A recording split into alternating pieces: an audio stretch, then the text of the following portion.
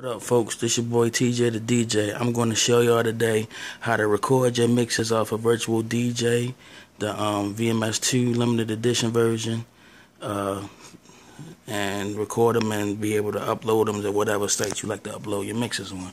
So first and foremost, you want to make sure you know your laptop is plugged in and your VMS2 is uh, powered on. Turn the power on, and then start up the Virtual DJ limited edition for the VMS2. All right, that's the first thing. Then you get your songs loaded up that you want to use for your um, your tape or your, your mix or whatever. Make sure you put them in a folder or however you want to do it. Then what you do before all this, you have to download a program called Audacity. That's this one right here. So you get on that. And I also have my tracks loaded up on the deck already, so all I gotta do is press go. So when this starts up, let's see what it do taking a minute.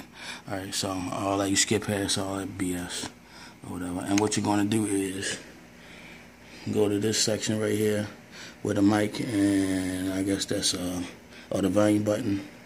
And what you'll do is you'll go to these are your settings. It won't focus.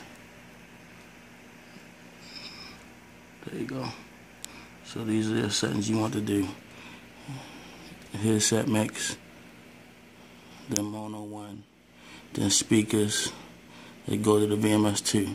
That's how I got it. And then also, you want to have a RCA cable connected to the booth um, output or whatever input output on your VMS2 with a stereo jack going into uh, the the head uh, not the headphones the the microphone portion of your laptop and when you have all that set up and also have a speaker connected so you can hear your mix because the way it come out the speaker is how it's going to record, record in Audacity. So what you do after you have everything set up there you hit record and that'll pop up. And all I gotta do since I have a, uh, a song already loaded up all I gotta do is hit play. As you see it's recording also with this, um, depending, I guess it depends on the computer you got. Um, your mix will have a little bit of a buzzing sound in it during the quiet portions of your mix. But um, best way to do it is just uh, fool around with your your volume uh, for your mic. So you see, I got it a little bit lower, and I don't want it distorted. So I'll go back and edit it and. Uh, Pro Tools or Adobe Audition and make it louder. But this is a good uh, volume, you know.